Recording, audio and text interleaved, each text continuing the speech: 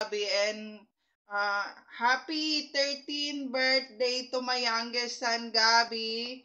And uh, eto, ubusin ko na yung cake. Mag-isa lang naman ako.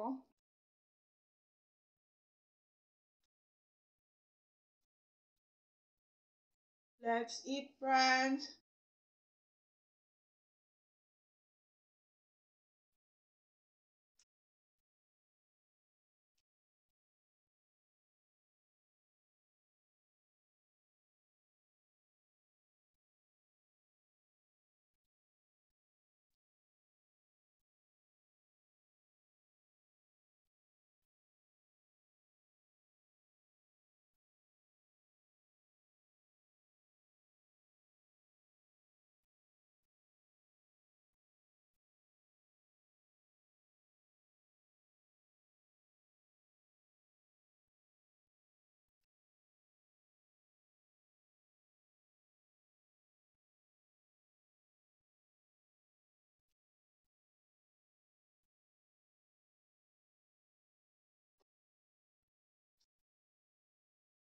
angen iawn i gydol yr lleihau o bwysyn.